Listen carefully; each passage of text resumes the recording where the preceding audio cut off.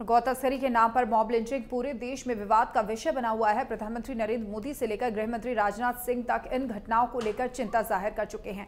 बावजूद इसके, भारतीय जनता पार्टी के नेता इस मसले पर गैर ज़रूरी टिप्पणी करते रहते हैं। ताज़ा बयान, राजस्थान के बीजेपी विधायक ज्ञानदेव आहूजा का आया है। अपने विवादित बयानों के लिए चर्चित रहने वाले आहूजा ने अब गोकशी को आतंकवाद से भी बड़ा अपराध करार दिया है।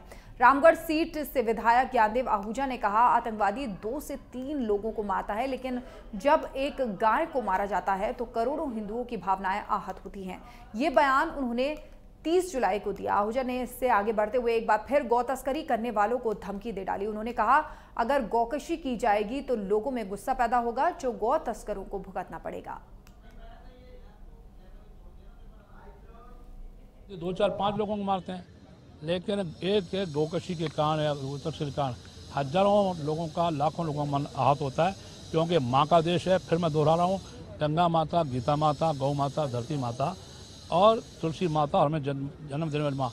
ये माँ का देश है, माँ के साथ कोई छेड़छाड़ करे, माँ के साथ कोई बदतमीजी करे या माँ के साथ कोई गुंडागर्दी करे, ये इस देश में सहन नहीं होता।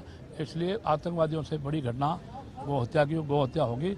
तो संवेदनशीलता में लोग भड़केंगे। भड़केंगे कुछ घटनाएँ होंगी जिसको माननीय न्यायालय ने स्वीकार करना चाहिए।